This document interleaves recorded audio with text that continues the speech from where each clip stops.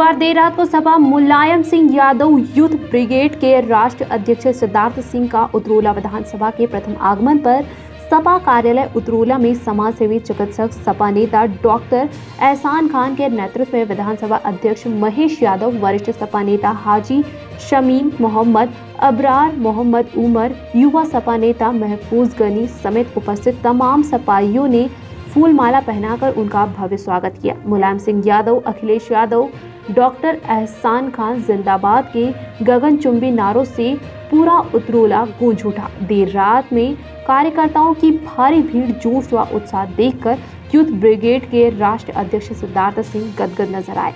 सपा के वरिष्ठ व युवा नेताओं, पदाधिकारियों, कार्यकर्ताओं ने डॉक्टर एहसान द्वारा किए जा रहे सामाजिक कार्यों की सराहना करते हुए एक स्वर में आगामी 2022 के विधानसभा चुनाव में उतोला विधानसभा क्षेत्र से डॉक्टर एहसान खान को सपा का उम्मीदवार बनाए जाने की पुरजोर पैरवी की। सिद्धार्थ सिंह ने कहा कि आप लोगों की सभी बातों को राष्ट्रीय अध्यक्ष अखिलेश यादव तक पहुँचाने का काम करेंगे, उन्होंने सपा कार्यकर्ताओं में विधानसभा चुनाव को लेकर जोश भरा। कहा कि समाजवादी पार्टी गाँव के युवाओं को पार्टी में इसलिए जोड़ना चाहती है क्योंकि इस पार्टी से जुड़कर युवा वर्ग आगे बढ़ सकता है। आज युवाओं के सामने रोज़गार की समस्या है। युवाओं का मन कुंठित हो रहा है। सपा के सत्ता में आते ही युवाओं को रोज़गार दिलाने का पूरा प्रयास करेगी। सपा के उद्देश्य है कि गाँव में रहने वाला हर वर्ग, महिला, पुरुष, मजदूर व व्यावसायिक व्यक्तियों का उत्थान हो सके।